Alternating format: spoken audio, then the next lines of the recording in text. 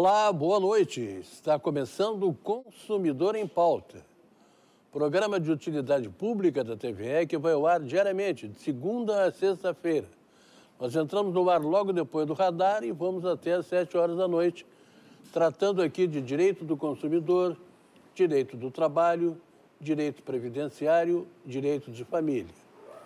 Então vocês podem perguntar aqui sobre todos esses assuntos através desse endereço que nós estamos colocando aí no seu televisor.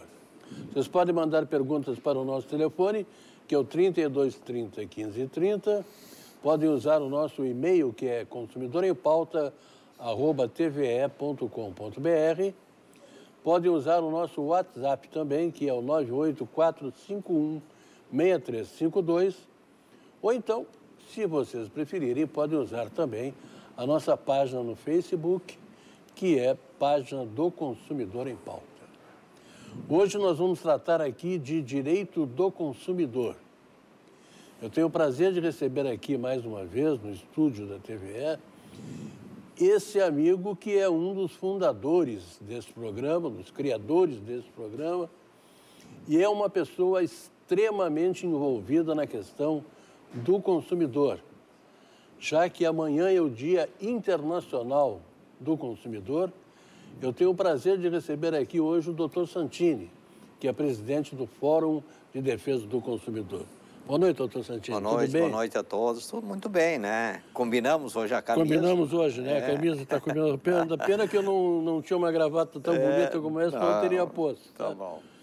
O doutor Santini e o professor Cláudio Bonato, juntamente com o doutor Guido Meche, estiveram aqui há, isso há muitos anos atrás, 2003, é. para que a gente fizesse um programa chamado Consumidor em Pauta. E eu tive o prazer, a honra e o orgulho de ter sido escolhido para apresentar um programa desse. Tão grande foi o sucesso que até hoje o programa teve um tempo fora, voltou, mas o doutor Santini está aqui comigo ainda como um dos baluartes daqueles que criaram o consumidor em pauta. É, o Machado Filho dá muito elogio para todos, mas ele foi o grande responsável porque a gente iniciou, e aí o mérito também ao nosso querido jornalista Adão Oliveira, na é, época, verdade. né? Ele, de pronto, quando viu a proposta que a gente trouxe junto com o, o Francisco Merche, desembargador, Paulo Valério, o, o, o nosso... O, o, o Conte. O Conte Isto, é, e mais o Bonato ele, é, a gente criou só o, o, o, o, programa voltado ao consumidor. E aí o Machado Filho, pela essa, essa sabedoria e essa trajetória brilhante, ele é, incluiu os outra, as outras áreas de direito. Nós passamos a fazer todos os dias. É, né, e, e, exatamente. E é um, é um programa que não pode sair. Ele é de utilidade pública, ele esclarece, e não só no programa, mas também a gente trabalha claro. pós-programa, porque a gente faz as mediações. E o interessante, na área do consumidor, a gente não cobra absolutamente nada. É verdade. E amanhã é Dia Internacional Isso. do Consumidor. Eu queria, é, é, eu acho que é importante comemorar, porque nós vamos. É, como é que surgiu o Dia Mundial do, do, Consumidor? Foi por um pronunciamento, um discurso do, do, na época, senador, o presidente John Kennedy, né, que estabeleceu que o consumidor é, deveria ter pelo menos alguns direitos explícitos quanto à segurança, quanto à informação, quanto ao direito de ser ouvido, quando envolve a relação de consumo. Aí começa nos Estados Unidos essa preocupação e espalha-se pelo mundo e em primeira comemoração aconteceu como Dia Mundial do Consumidor em 15 de março de 1983, ou seja, 21 anos atrás. Mas aí surge vários né, é, regramentos legais, né, é, e aí o Brasil, no caso, aqui no caso, nós criamos um código em 11 de de novembro de 90, ou seja, esse ano vai comemorar 28 anos, sendo um dos melhores, um dos melhores.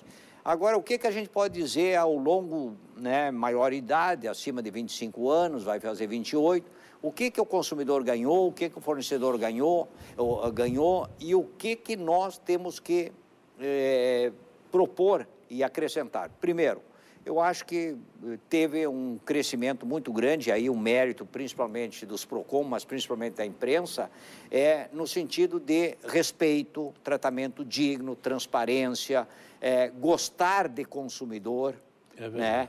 E o consumidor, e aí teve, te, criaram as empresas, criaram o saque, tivemos é, o, o, criaram, por exemplo, o, o atendimento direto. É claro, criou-se o recall, né? coisas que até então não né? aparecia um produto no mercado, tinha um defeito, inclusive colocando o risco Azar de quem comprasse, a vida né? é e nada se fazia. É. Então hoje a indústria ela, ela não só reconhece, como ela, ela, ela solicita ao consumidor, sem custo nenhum, de superar qualquer vício ou defeito no produto. Que bom. Agora, o que, que o fornecedor tem que fazer? Tratar melhor o, o consumidor, preparar melhor seu, os seus prepostos, ou seja, quem é atende o consumidor, dar autonomia para os vendedores que atendem o consumidor, não só para vender, eles são VIP na hora de vender, mas tem que ser VIP na hora, na hora de, de superar também, conflitos é pós-venda. É e aí, então, aproveitando, já que tem um consumidor nos lá. assistindo lá em Canoas, o Juliano, a Fábio e o Leonardo, tá né, mandar um abraço especial e a dona Creuza, que está nos prestigiando aqui, também um abraço dona Creuza especial. veio cuidar de perto aqui, ela ficou aqui no Dia do Internacional da Mulher, teve muita homenagem aqui, é. que ela não ficou sabendo bem para quem era. Não, isso é brincadeira. a doutora Creuza sabe que, que eu não, que é brincadeira, que o doutor Santini é um homem seríssimo Doutor Santini. Vamos lá. Vamos lá então para as perguntas, que são muitas e nós temos que, que fazê-las e apresentá-las aqui. Isso aí. Nós somos consumidores, somos responsáveis também por fazer as perguntas aqui, senão daqui a pouco vamos se queixar de nós lá no PROCON. O Valdir mora na cidade de Alvorada e ele tem uma linha telefônica antiga pela qual paga uma taxa básica baixa para manter a linha. Agora, eu gostaria de adicionar a internet. O valor da internet para 15 megas é R$ 69,00. Então, o valor total que pagaria mantendo a taxa básica de telefone seria de menos de 100 reais. Mas a operadora quer cobrar R$ 121,90 para os dois serviços, fazendo uma venda casada que tem valor superior ao que seria cobrado por cada serviço. E ele quer saber, doutor Santini, se eles podem fazer isso. Não. O Valdir é, é conhece bem seus direitos, é venda é. casada, quer dizer, querem agrupar um serviço que ele já tem, ele quer adquirir um novo serviço, ele sabe o valor unitário desse novo serviço, claro. não tem que agregar valor que não, não esclarece o porquê. Sim. E ele cita a operadora. Valdir, eu é. vou ser bem pontual. Anota nosso e-mail, aasantini.terra.com.br bota assunto, o nome da operadora, bota teu nome, CPF e esse relato. Eu faço a mediação e superamos isso rapidamente. Tá mas não vendo? pode. Ele pode também denunciar na Anatel, mas eu digo que o meu não, caminho é mais é, rápido. É, mais rápido. Liga lá para o doutor Santini que ligeirinho vai estar resolvido. É, ele manda por e-mail que é mais fácil, é. que ele não, não gasta é, isso nada. Mesmo. Isso. O João mora na cidade de Sapucaia do Sul. Um abraço para o Raul, para a Tânia e para as filharadas todas, netos lá de, do Raul, que são meus vizinhos lá da praia. Que bom. São lá de Sapucaia do Sul. A vizinha tem o marido e o sogro enterrados em um único terreno. Agora a prefeitura mandou dois carnês para pagar. Ele quer saber se é correto cobrar dois. Entende que, como é só um terreno, teria que pagar um carnê só. E daí, doutor Santini? Não, o, o João aí de Sapucaí, ele está correto. É, é, um, é um, o IPTU é em cima de um imóvel, é o terreno, então não é em cima de pessoas. Claro. Não, então tra tranquilo. Faça o seguinte, João, faça um, um, uma solicitação e uma reclamação fundamentada com protocolo lá na Prefeitura de Sapucaia, que atende muito bem, eu tenho alguma relação lá com a Prefeitura, faça um protocolo e, uhum. e solicita o esclarecimento e a solução. Aí, não tendo, não tendo solução, que eu acho que vai ter, é tranquilo, acho que foi erro na, na, na impressão do boleto e do. Né? E aí, se não tiver, ele pode levar essa situação para o juizado especial. É, senão se cobram dois, dois, dois carnês, porque tem duas pessoas sepultadas ali, quando tiverem dez, vão cobrar dez claro, carnês. Não então... pode, isso não existe base legal. É. A dona Cida mora aqui em Porto Alegre. Ela diz que adora o programa e relata o seguinte: fui pagar a conta de telefone fixo, vencimento em março de 2018, e para minha surpresa, a operadora, ela põe aqui qual é a operadora, estava cobrando o mês de fevereiro de 2018, pago no dia 4 de fevereiro. Comprovante está com ela. Depois de duas horas de tentativa, consegui falar com uma atendente que confirmou que não havia nenhuma conta em aberto e que o erro seria deles. Porém, como o gato escaldado tem medo de água fria, diz aqui a dona Cida, não confio nas boas intenções da empresa, visto conta vencer em 10, mil, em 10 de 3.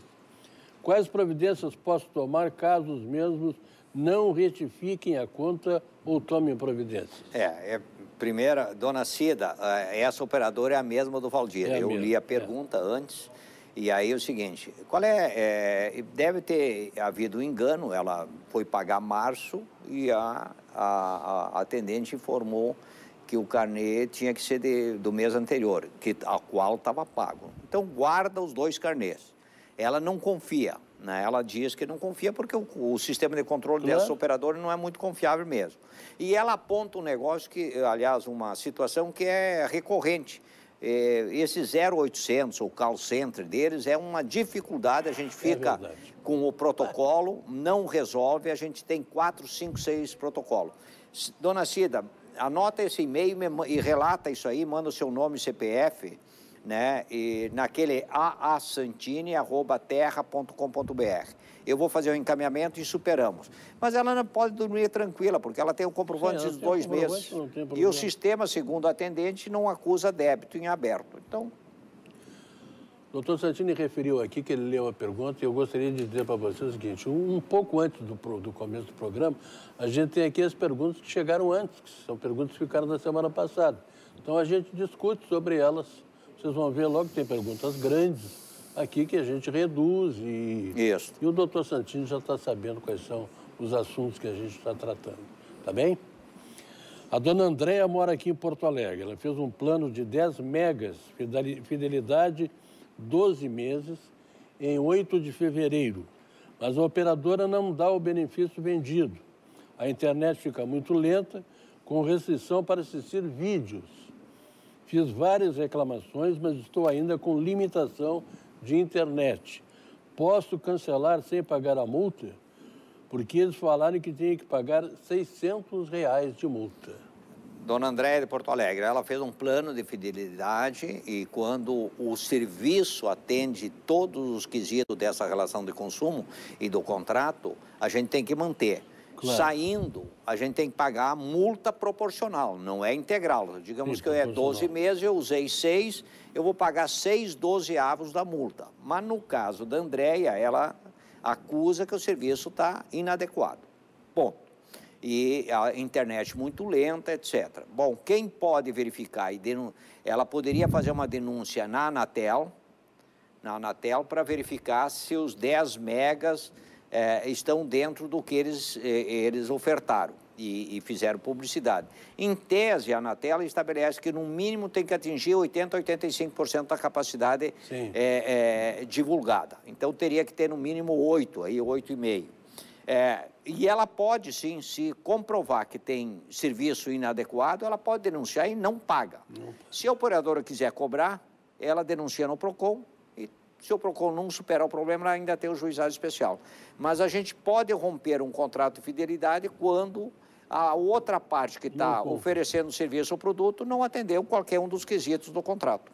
Se ela está pagando por 10 megas e está recebendo 4, 5, é, daí e com, pode, e com né? qualidade baixa. Qualidade baixa.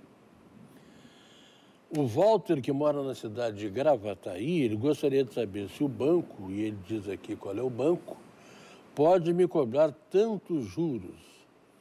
Até porque eu queria ativar a minha conta corrente e estão cobrando muitos juros. Não tem como eu pagar. Eles querem uma, uma boa de uma entrada para ativar a conta.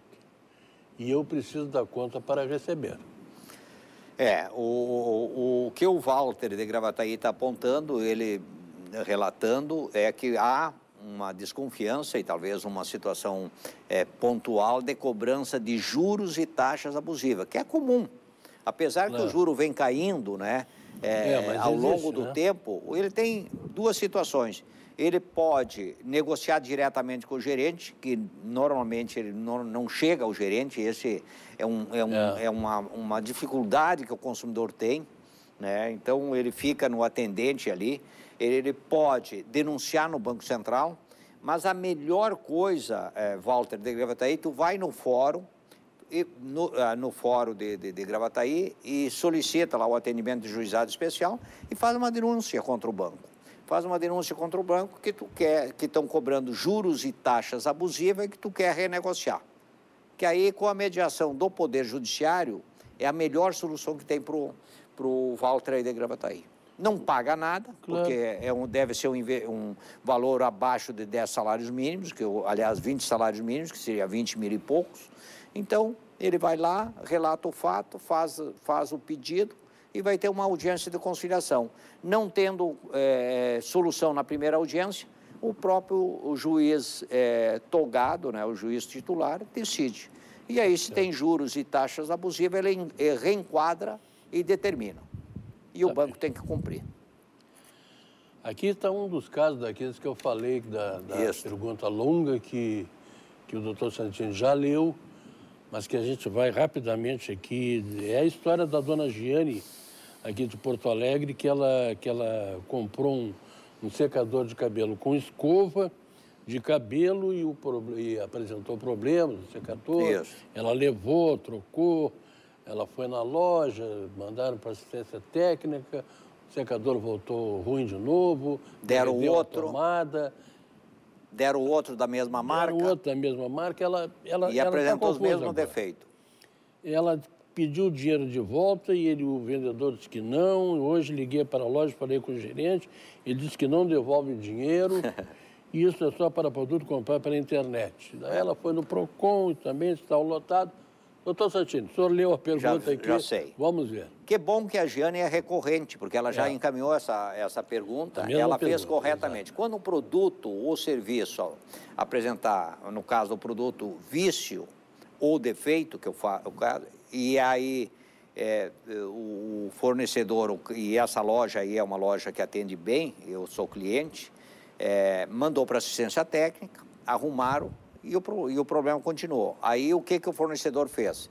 A, a loja fez, trocou o produto, deu da mesma marca. A Jane perdeu a confiança na marca. Ela tem todo o direito. Claro. E aí apresentou, repetiu o defeito no novo produto. E aí em tese, em tese, é, primeira recomendação, porque ele não veio com defeito na hora da compra, ele apresentou o defeito depois no uso.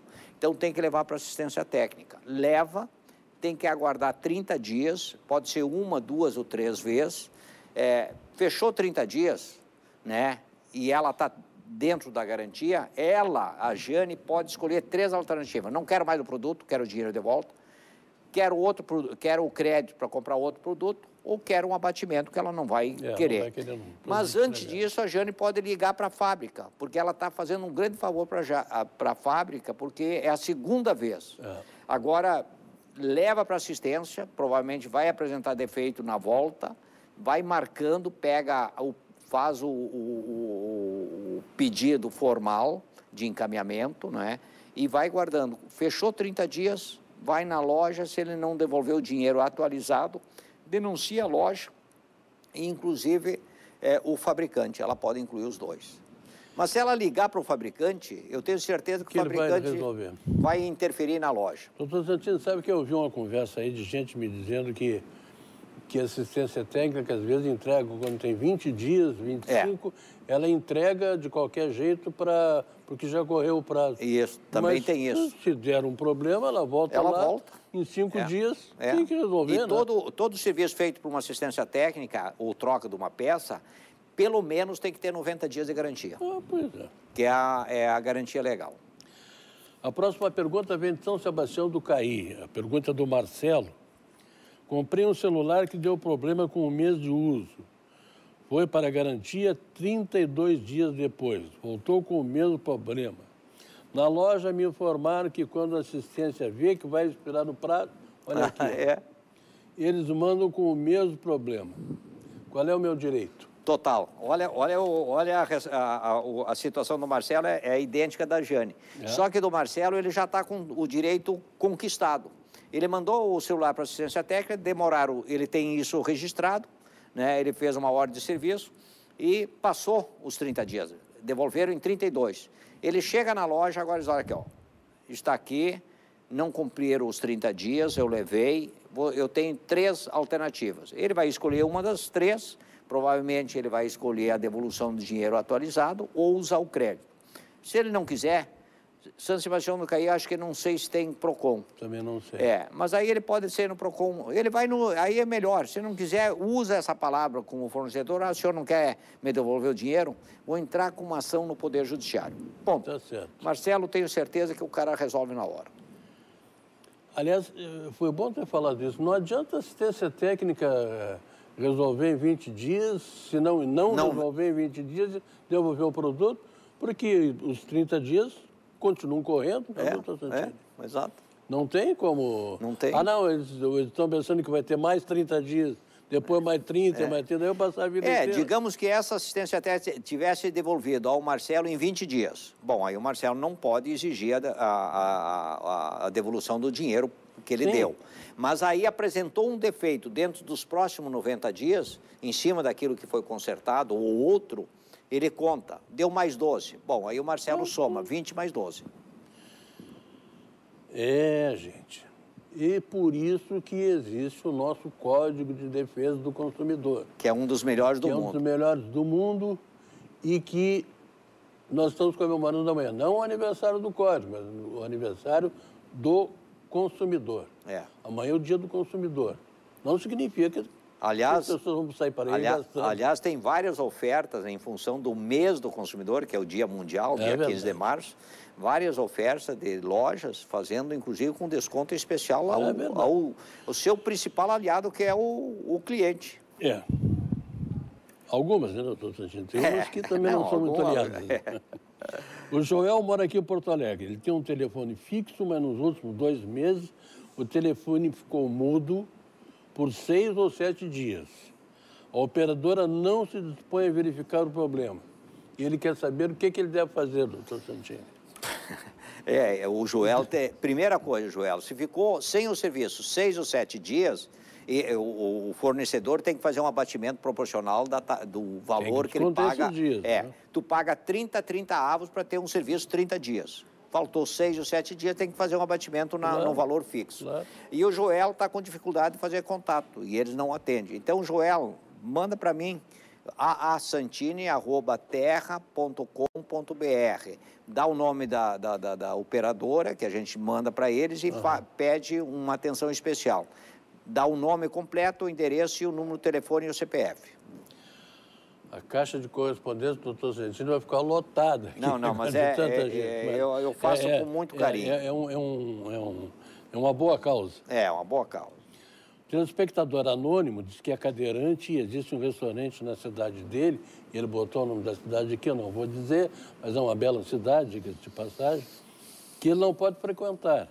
Acontece que o mesmo tem uma escada de oito degraus e na, na, entrada, o que impede o acesso de clientes que têm o mesmo problema que eu. Eles não são obrigados a construir um acesso para deficientes físicos? Tem lei, claro, eu sei, a cidade é uma cidade muito querida. É, é. É, ele pode representar isso na Câmara de Vereadores, que alguém pega essa causa, porque é uma causa de interesse coletivo, e a Prefeitura tem uma lei de acessibilidade o imóvel não está adequado, ele vai ter que adequar. Ah, o proprietário vai dizer, ah, mas eu fiz o imóvel dentro das normas legais da época. Não exigia, mas hoje exige. Então, e ele precisa de cliente. Então, é bom senso. Mas esse, esse, esse consumidor anônimo, ele deve procurar um representante do Poder Legislativo, que aí pega, se, se precisa de uma lei específica municipal, porque tem a lei federal e a estadual, mas tem é. solução. E a prefeitura tem a obrigação de fiscalizar e, e adaptar. E quem sabe o, o nosso telespectador também dá uma conversada com o gerente lá? Também, do, também o proprietário. Ser, né? é. é. de repente eles se entendem. Doutor Santini, tive um prazer muito grande de conversar com o senhor aqui. Sei que o senhor tem um, um compromisso social hoje à noite. É. Por isso já trouxe a doutora Creuza aqui junto, para saírem juntos daqui. Só não bebo muito porque depois pode pegar não na bala do seguro, não né? Não, e é importante dizer o seguinte, hoje até eu acho que é importante porque é um segmento que, que reconhece muito o consumidor e trabalha, inclusive, a prova do consumidor. É a Federação dos CDLs do Rio Grande do Sul, Vitor Koch está é, sendo reempossado com mais um mandato, e ele luta, inclusive, uma, uma situação que é importante para que o consumidor gaste exatamente dentro da sua capacidade financeira. É e eles têm um programa que, o, um, junto aos lojistas, quando o, o consumidor está super endividado, eles chamam e fazem um ajuste final e uma que capacidade, bom. uma prestação que cabe no bolso de cada um. Que e aí educa para que o consumidor não gaste mais do que deveria gastar. Tá certo. Muito obrigado, doutor Santini, muito obrigado a todos vocês. Amanhã eu estarei de volta às seis e meia. Vou falar de direito de família e comigo estará aqui a doutora Solange Guinteiro. A todos vocês, muito obrigado, muito boa noite e até lá.